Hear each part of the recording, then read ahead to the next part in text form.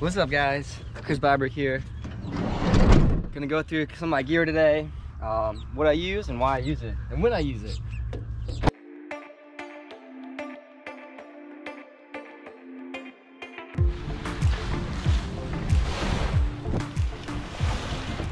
All right, so moving on, we're gonna get to their boards. Uh, so basically, I ride the 141 Commander. It's their dedicated freestyle board. It rides well in everything. I've actually been able, and the, it rides really well in strong winds, especially for that bigger sizes. I'll put straps on it when it gets really windy, and it holds its edge really well to carve into a wave, slashes through the waves, and holds its edge really well in a lot of wind. The Commander, primarily it's made for riding boots. The Commander is our dedicated freestyle board that has been specifically designed to mostly ride boots. So the boots I ride are actually the Vadatek step-in bindings. They're pretty new to the scene and for kiting, I really can't think of a better boot. All right, so moving on to my light wind board.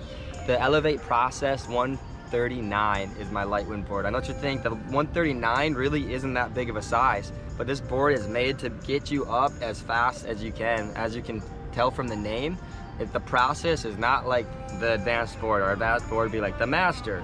Um, but I'll tell you, I like the, the process for that specific reason.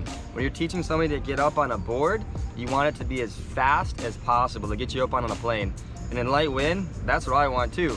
So I can actually do all my freestyle tricks in light wind because the hard part to do the freestyle tricks is getting the speed up to pop.